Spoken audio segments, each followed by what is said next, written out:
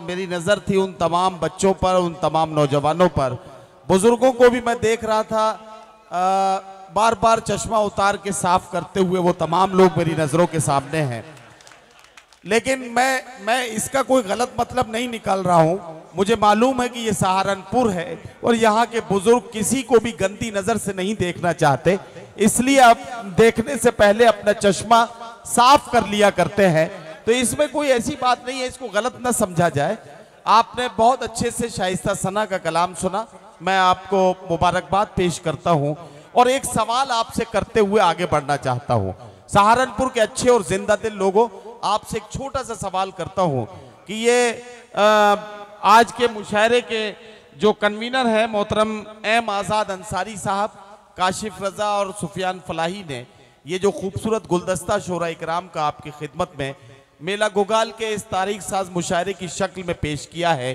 अगर आपको लगता है कि इनकी ये कोशिश कामयाब हो रही है और ये मुशायरा कामयाबियों की तारीख लिख रहा है तो एक बार जोरदार तालियों से मुशायरा कमेटी के इन जिम्मेदार लोगों का इस्तकबाल कीजिए, ताकि इन्हें लगे कि इनकी मेहनतें वसूल हो रही हैं और इनकी मेहनतें कामयाब हो रही हैं। आइए आगे बढ़ते हैं और एक और शायर से मुलाकात करते हुए हमें अपने मुशायरे के सफ़र को आगे बढ़ाना है। भूख के एहसास को शेरों सुखन तक ले चलो, या अदब को मुफलिसों की अंजुमन तक ले चलो। जो गज़ल माशूक के जलवों से वाकिफ हो गई, उसको अब बेवा के माथे की शिकन तक ले चलो।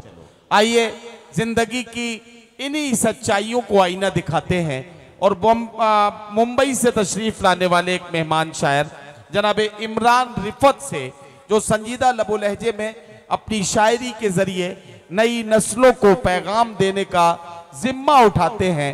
आइए गुजारिश करें जनाब इमरान रिफत से कि वो तशरीफ़ लाएँ और मेला गुगाल के इस तारीख साज मुशायरे में अपने कलाम से नवाजें। जनाब इमरान रिफत। हाजरीन, बहुत खूबसूरत मुशायरा, बहुत खूबसूरत निज़ामत। सबसे पहले मैं मुबारकबाद पेश करना चाहता हूँ मुशायरा कन्वीनर को और मुशायरा कमेटी को। लेकिन दोस्तों सच बात यह है कि अगर मेरी नज़र में कोई सबसे ज़्यादा मुबारकबाद का मुस्तक है तो वो आप लोग हैं जिन्होंने इस मुशायरे को मुशायरा बनाया। बेशक सच्ची बात। उर्दू के चाहने वाले लोग और उर्दू से मोहब्बत करने वाले लोग खुले आसमान के नीचे सारी रात बैठ सकते हैं। नदीम भाई इजाज़त है? इरशाद इरशाद। उर्दू के हवाले से एक मतला पढ़ता हूँ। और मुश्किल से बहुत तवील फहरिस्त है पाँच मिनट में आपके लूँगा। बतौर खास तवज्जो से आप सुन ले। सुनिएगा दोस्तों पढ़ता हूँ। ये भाई इरशाद। खत्म।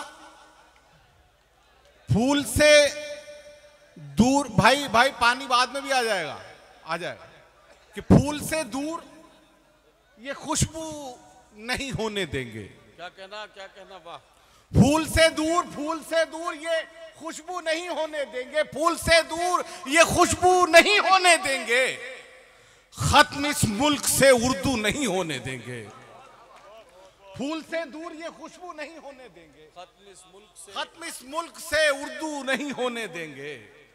एक मतला और पढ़ता हूँ कहता हूँ कि पतंग उड़ा के खुली रील छोड़ देता है।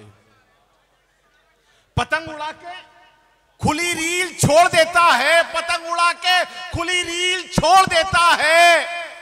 खुदा खफा हो तो फिर ढील छोड़ देता है। पतंग उड़ा के खुली रील छोड़ देता है। खुदा खफा हो तो फिर ढील छोड़ देता है। एक मतलब और पढ़ता हूँ कि जालिम का जहनो दिल से असर खत्म हो। जालिम का जहनो दिल से असर खत्म हो गया। जालिम का जालिम का जहनो दिल से असर खत्म हो गया। इतना डराया उसने कि डर खत्म हो गया। वाह वाह वाह। जालिम का जहनो दिल से असर खत्म हो गया। इतना डराया इतना डराया उसने कि डर खत्म हो गया। फिर एक नए सफ़र का है। आगाज़ कब्र से दुनिया समझ रही थी सफ़र खत्म हो गया। वाह वाह वाह वाह। फिर एक नए सफ़र का है आगाज़ कब्र से। दुनिया समझ रही थी सफ़र खत्म हो गया। क्या कहना इमरान रिफत साहब? वाह वाह वाह। दोस्तों आप बहुत अच्छा सुन रहे हैं और मेरे बाद आपको डॉक्टर माजिद देवबंदी हैं अल्ताफ जिया इकबाल अशर तमाम शोरा को सुन रहा है। थोड़ी सी मोहब्बत है आप जुड़े मुझसे जुड़े। इंशाल्लाह दो चार शेर। बहुत कम वक्त आपका लूँगा। एक मतलब पढ़ता हूँ कि इरशाद। जमाने भर पे जादू कर रहा है। जमाने जमाने भर पे जादू कर रहा है। वो लहजा अपना उर्दू कर रहा है। वाह वाह वाह। जमाने भर पे जादू कर रहा है।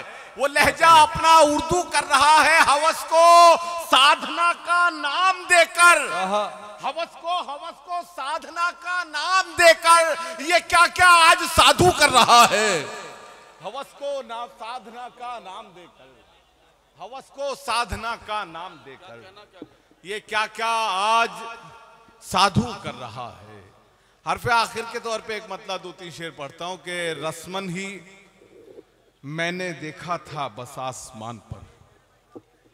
रस्मन ही मैंने देखा था बस आसमान पर। पहरे बिठा दिए गए मेरी उड़ान पर। वाह वाह वाह रस्मन ही मैंने देखा था बस आसमान पर। पहरे बिठा दिए गए मेरी उड़ान पर। सयाद कर रिहा मुझे फिर ज़ोर देखना। शर्तें लगाई जाएँगी मेरी उड़ान पर। वाह वाह वाह शर्तें लगाई जाएँगी मेरी उड़ान पर।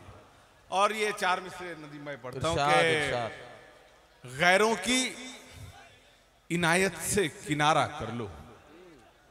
गैरों की इनायत से किनारा कर लो। वाह वाह। सूखे हुए टुकड़ों पे गुजारा कर लो। क्या कहना वाह वाह वाह। गैरों की इनायत पे किनारा गैरों की इनायत से किनारा कर लो। सूखे हुए टुकड़ों पे गुजारा कर लो। और गैरत का तकाजा है अगर फाकों में मौत आ जाए तो मर जाना गवारा कर लो। वाह वाह वाह वाह वाह वाह।